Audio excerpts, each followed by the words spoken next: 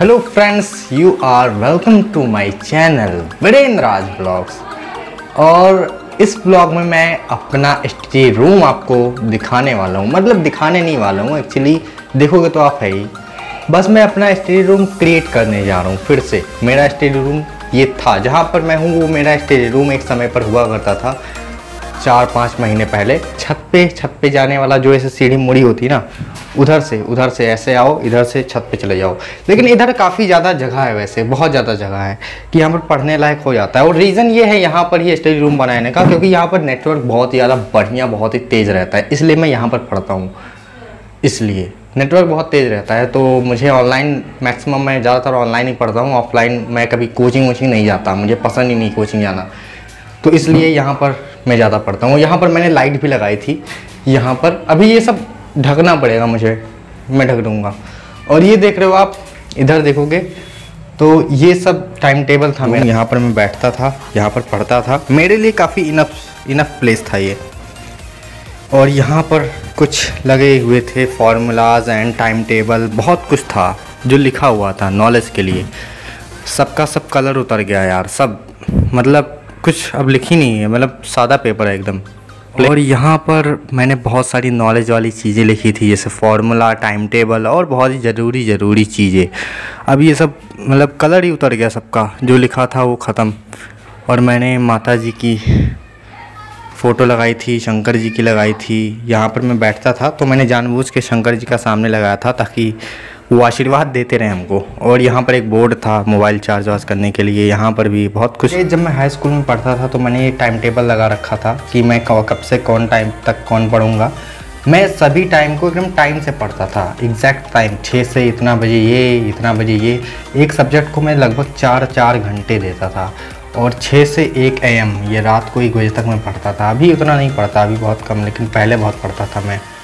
High school का exam cancel हो गया था तो मेरा दिल टूट गया उसके बाद। और ये इसके अंदर भी टाइम टेबल है।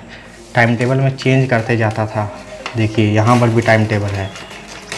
ये एक न्यू टाइम टेबल इसके अंदर इसके अंदर भी एक न्यू टाइम टेबल होगा आई एम श्योर इसके अंदर देखिए एक न्यू टाइम टेबल आ गया। अभी इसका कोई काम नहीं है वैसे। और फिर इसके अंदर फिर से एक न्यू टाइम टेबल आएगा। देखिए, इसके अंदर फिर से एक न्यू टाइम टेबल ओ भाई, खुल जाए इसके अंदर फिर से एक न्यू टाइम टेबल और इसके अंदर फिर से एक न्यू टाइम टेबल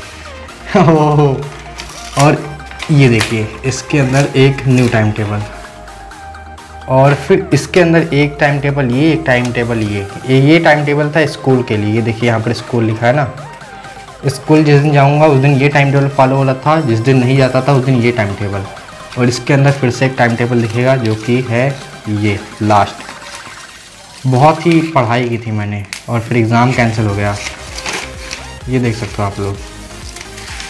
यहाँ पर है ये टाइम टेबल और इसके अंदर भी कोई होगा आई थिंक नहीं नहीं, इसके अंदर नहीं था, यही पहला था। इसके बाद से मैं ये सब लगभग एक, दो, तीन, चार, पाँच, छः, सात सात, आठ टाइम टेबल था। सबको मैंने फॉलो किया है कई समय तक। और इधर ये फोकस लिखा था और ये ऑर्गेनिक केमिस्ट्री इधर मैथ था, ये भी ऑर्गेनिक केमिस्ट्री के लिए ज़रूरी था, ये केमिस्ट्री का था सारा। तो ये सब मैंने लगाया था, यहाँ पर मैं बहुत सारे पेन रखता था, बहुत कुछ, एक फ़ोटो दिखाएँगे आपको, उसमें आप समझ जाओगे कि कैसा था कुछ। और ये सब फालतू, इसको उजाड़ना पड़ेगा अभी, सब सही करना पड़ेगा। ये देख सकते हो आप।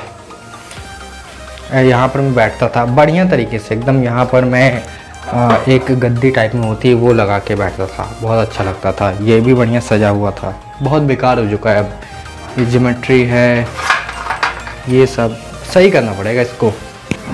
तो गाइज़ सबसे पहले तो इसको मुझे साफ़ करना पड़ेगा। एक गंदे कप, गंदा नहीं कपड़ा, लेकिन फिर भी साफ़ तो करना ही पड़ेगा। आरंभ करते हैं इसको। लेट्स स्टार्ट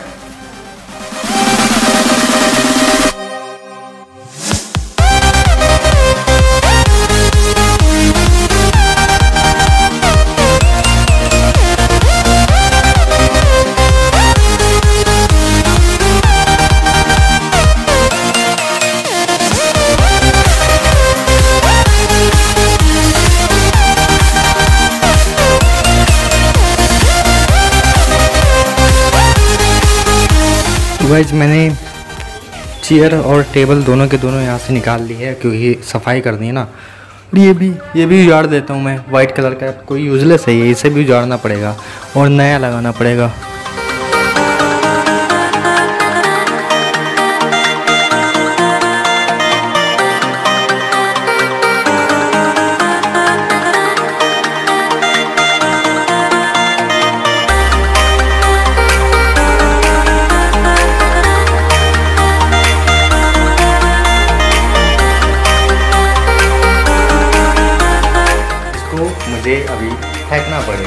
फेंकना तो गाइज़ नॉर्मल वाली साफ़ सफ़ाई हो गई। अभी मेन झाड़ू लगाने वाली बची है। झाड़ू लगा देते हैं यार।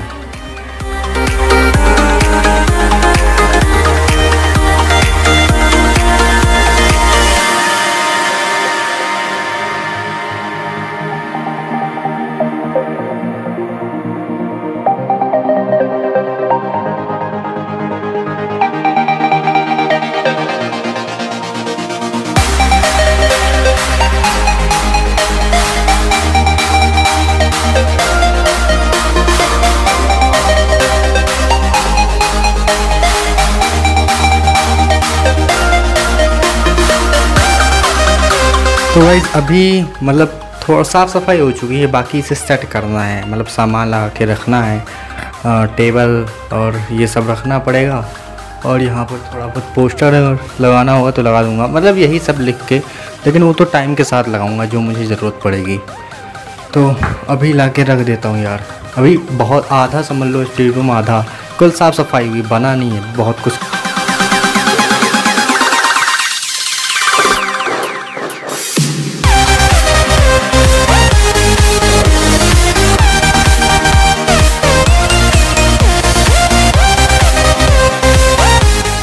तो गाइज़ मेरा स्टडी रूम अभी पढ़ने लायक तो बन ही चुका है। ये देख सकते हो, स्टडी टेबल एक मैंने रख दी थी यहाँ पर और इसके ऊपर एक लाइट लगाई हुई है, जिससे डायरेक्ट लाइट कॉपी पर पड़ती है और पढ़ने में आसानी होती है, लाइट की कमी नहीं होती।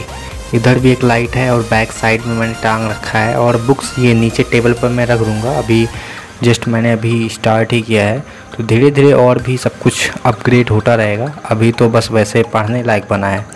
तो धीरे धीरे सब कुछ ऐड होते जाएँगे, स्टडी रूम और ही अच्छा होता जाएगा। तो बस, पढ़ने लायक तो बन ही गया है। तो गाइज़ रात के दस बज रहे हैं और मेरा स्टडी रूम देख ही रहे हो आप। पूरा बन के रेडी हो गया।